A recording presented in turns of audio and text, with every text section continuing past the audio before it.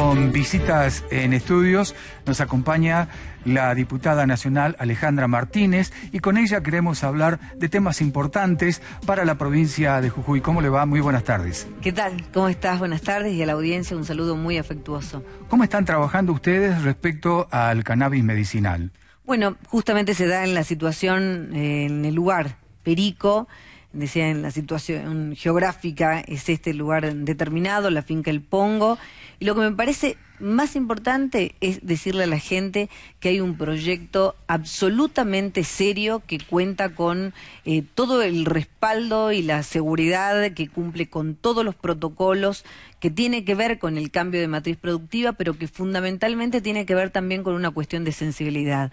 Eh, tuve la oportunidad durante el tratamiento de la Ley Nacional de Cannabis de eh, hablar con muchas mamás que tienen problemas con sus hijitos y que no encontraron ningún otro medicamento convencional que pudiera aplacar sus dolores y su situación eh, de tragedia diaria sino a través del cannabis medicinal. Por eso es que es tan admirada la provincia de Jujuy, porque evidentemente el gobernador de la provincia em, es una persona firme, segura, con buen criterio y que eh, se adelanta, tiene una gran visión y en cuanto él habló del tema del cannabis medicinal, eh, como una cuestión de salud también, este, rápidamente, no solamente en Argentina, sino en otros lugares, estuvieron atendiendo todo lo que se plantea.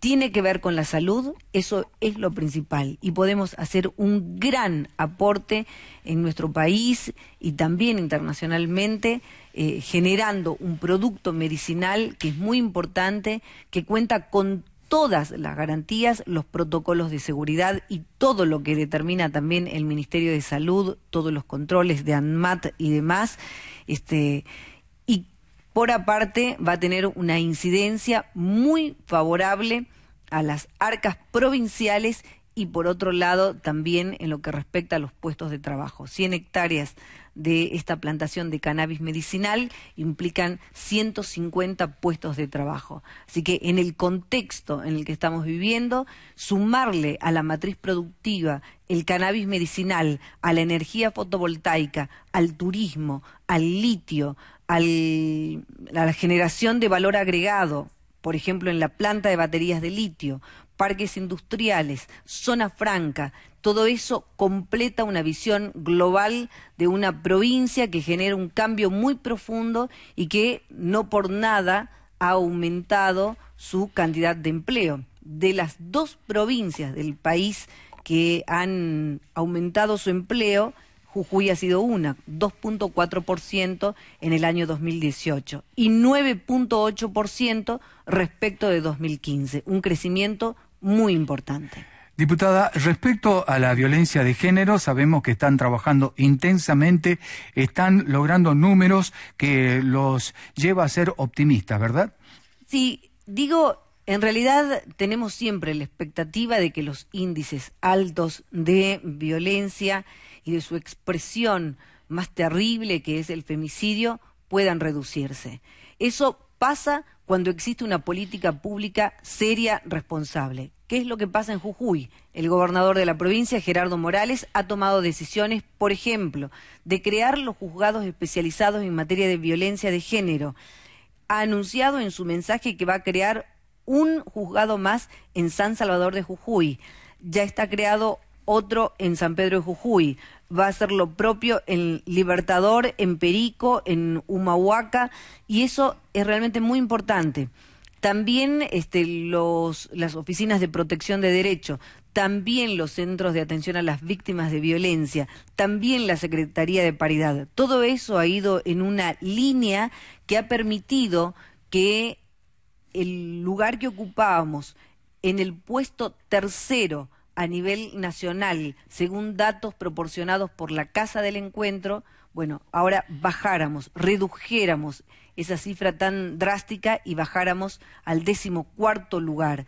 Eso habla muy bien de que ahí están siendo eficientes las políticas. Hay que hacer más, hay que hacer más. Por eso creo que la firma de este convenio entre el gobernador de la provincia y la Unión Europea y la Organización de Naciones Unidas va a ser muy importante. Se trata del programa Spotlight que este, va a invertir, en el caso de Perico, una cifra cercana a 20 millones de pesos en la lucha contra el femicidio. Bien, hay buenas noticias entonces para Perico, ¿no?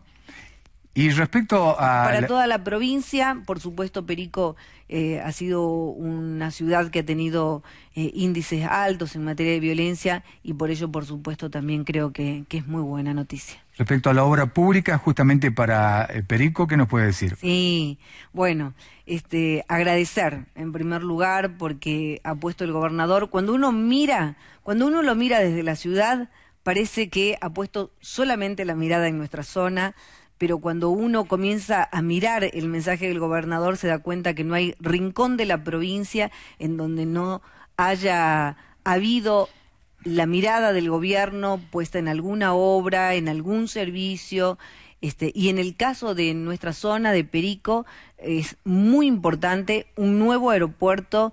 Tenemos, ustedes saben que se han aumentado la cantidad de vuelos diarios. Em, a Buenos Aires, a Córdoba, entre otros, y que por otro lado también se está trabajando muy fuerte desde el Ministerio de la Producción, el ministro Juan Carlos Abud, con todo el tema de parque industrial y este, tenemos gran expectativa por la zona franca, que ya se ha hecho el llamado a licitación, pero también el nuevo acceso. Recientemente inauguramos una parte de la iluminación para la fiesta patronal el 19 de marzo, quedó hermosa, el nuevo acceso que realmente era un requerimiento por años.